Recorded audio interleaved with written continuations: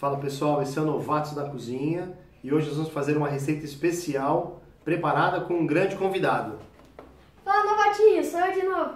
E aí, o que nós vamos preparar hoje? Brigadeiro de churros. Brigadeiro de churros, fantástico, tá pessoal? Os ingredientes aí abaixo do vídeo e vamos lá para o preparo.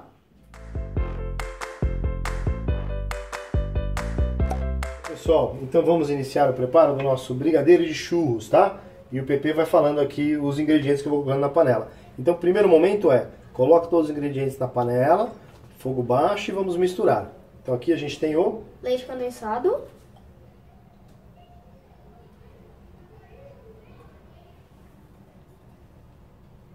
É, abaixo do vídeo vocês conseguem ver todas as quantidades, tá pessoal? Esse aqui eu estou usando uma lata de leite condensado.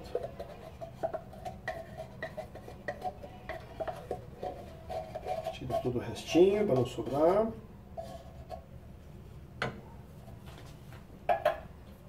Agora nós vamos colocar a manteiga.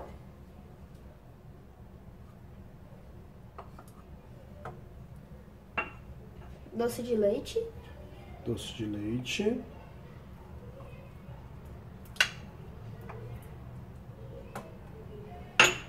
E por último a canela. Canela em pó, tá?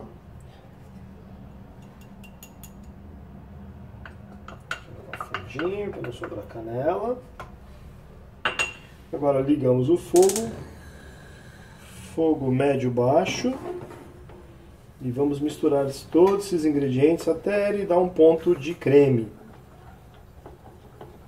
Você vai perceber que ele vai amolecer um pouco no começo, conforme os ingredientes todos esquentem, né? A manteiga derrete. Depois ele começa a engrossar um pouquinho.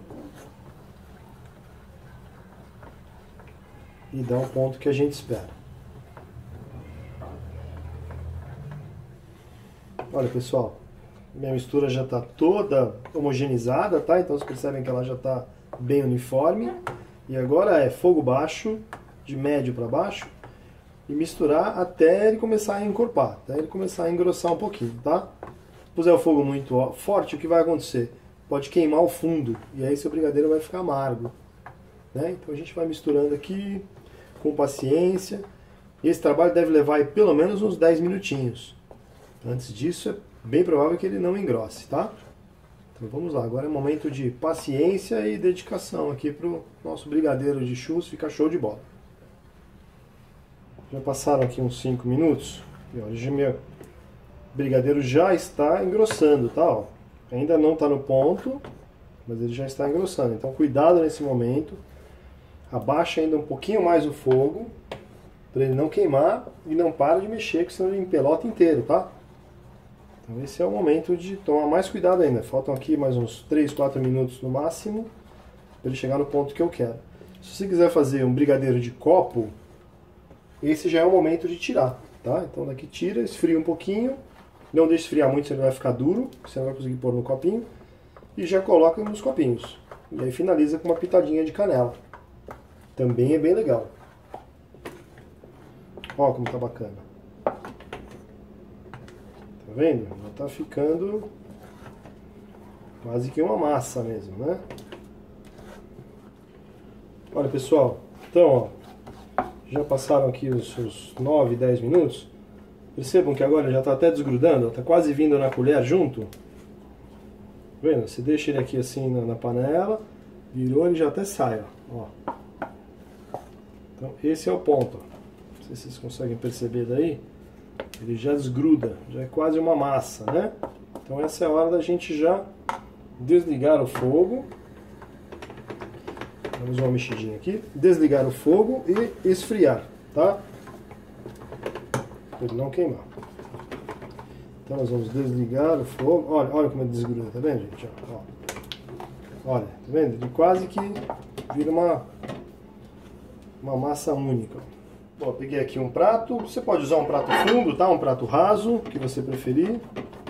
Eu vou fazer no raso, porque eu acho que ele vai espalhar melhor e esfriar melhor, tá? Então põe minha brigadeira aqui no prato.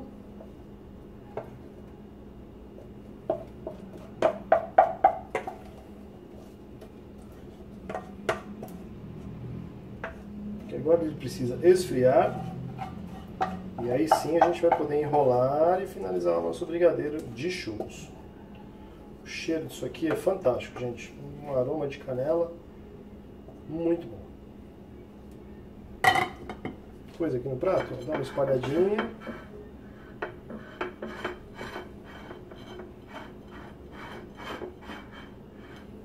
Por que eu estou usando um prato raso?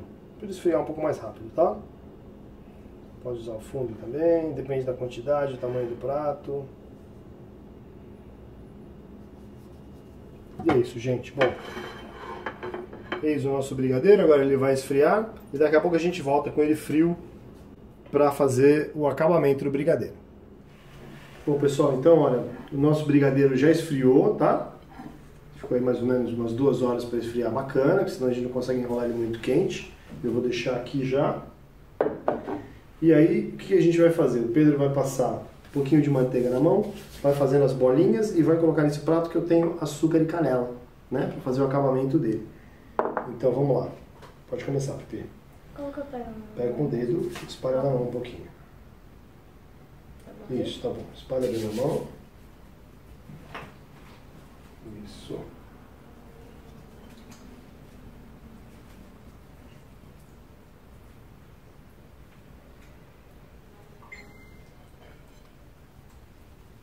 Bom já? Ó, uma quantidade assim, pode usar uma colherinha para medir, tá, gente?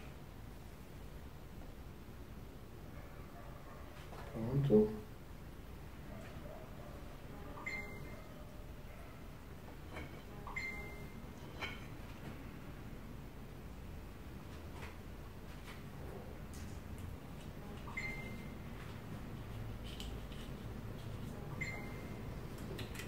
Isso, agora já coloca aqui.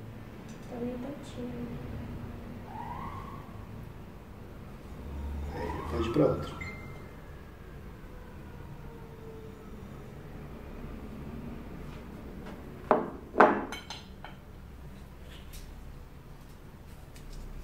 Olha que bonitinho vai ficando, pessoal.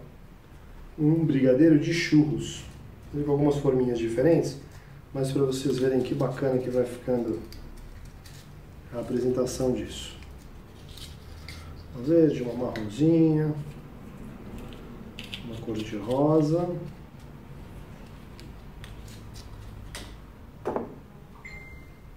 E ficou meio tortinha.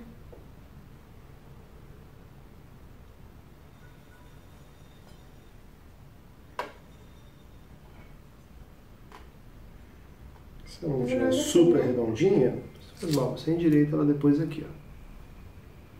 Isso.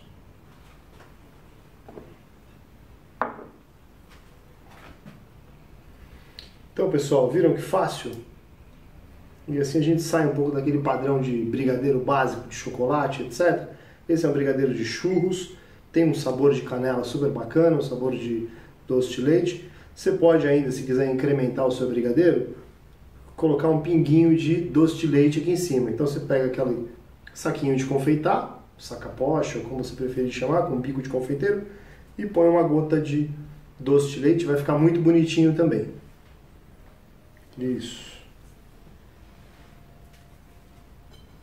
Olha que bacana. Bom, pessoal, e é isso. Então, os brigadeiros estão aí. Espero que vocês aproveitem. Já se inscreve no nosso canal também para acompanhar os próximos brigadeiros, os próximos pratos que a gente vai apresentar. E se puder, dá um like no vídeo pra gente. A gente vai enrolar tudo esse monte de brigadeiro agora e depois fazer uma festinha comendo todos eles. Obrigado e até o próximo vídeo.